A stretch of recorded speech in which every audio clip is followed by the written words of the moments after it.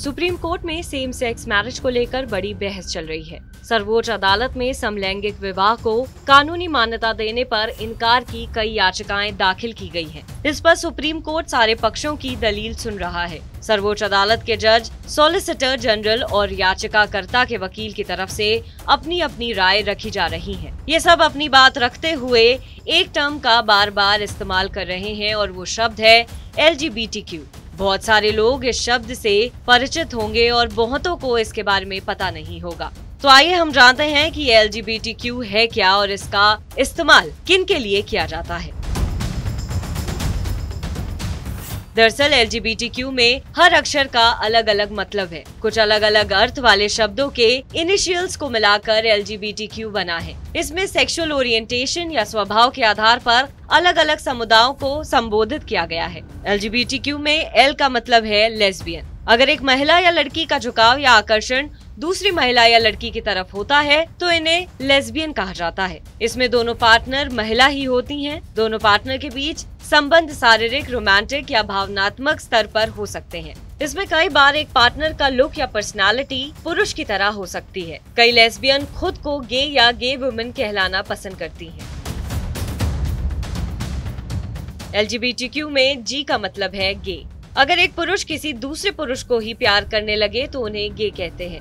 इसमें दो पुरुषों के बीच संबंध शारीरिक, रोमांटिक या फिर आकर्षण के स्तर पर हो सकते हैं। आमतौर पर समान लिंग की तरफ़ झुकाव वाले मामलों में महिलाओं के लिए लेस्बियन और पुरुषों के लिए गे शब्द का इस्तेमाल किया जाता है।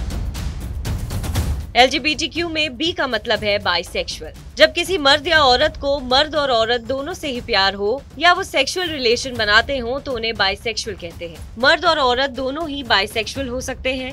दरअसल एक इंसान की शारीरिक चाहत ही ये तय करती है कि वो लेस्बियन है गे है या फिर बाइसेक्सुअल है। LGBTQ में टी का मतलब है ट्रांसजेंडर ट्रांसजेंडर मतलब वो इंसान जिनका शरीर पैदा होते वक्त कुछ और था और वो बड़ा होकर खुद को उलट महसूस करने लगा। जैसे एक इंसान पैदा होते वक्त लड़की था, लेकिन बड़े होने पर वो लड़के जैसा महसूस करने लगा। इसी तरह कोई इंसान पैदा होते वक्त लड़का था, लेकिन बड़े होने पर वो खुद को महिला की तरह महसूस करने लगा। ऐसे लोगों में हार्मोन की गड़बड़ी या किसी दूसरी वजह से दोनों लिंग के गुण आ जाते हैं।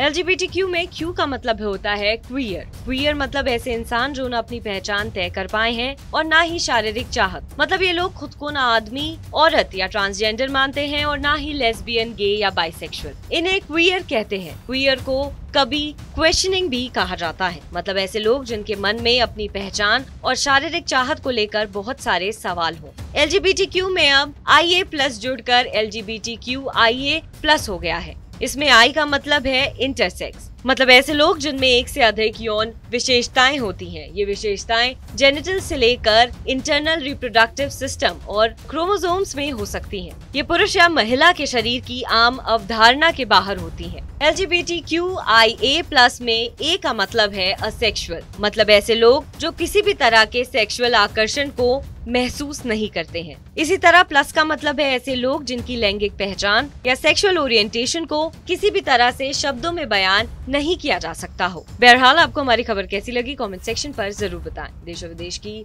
तमाम बड़ी खबरों के लिए आप देखते रहिए टीवी नाइन भारत वर्ष